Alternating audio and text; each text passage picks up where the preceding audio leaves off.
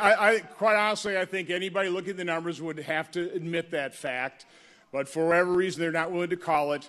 But I don't see uh, torturing you guys anymore by staying up till you know for a couple more hours because who knows how long they'll they'll take to actually call this race. So, uh, you know, we'll wait till all the numbers come in before I declare final victory. But uh, you know, I do believe that uh, this time uh, truth has prevailed over the lies, over the character assassination.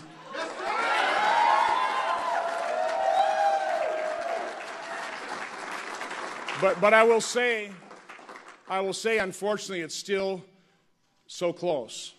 And that, uh, that's a little depressing, isn't it? That, uh, that lies can be that effective.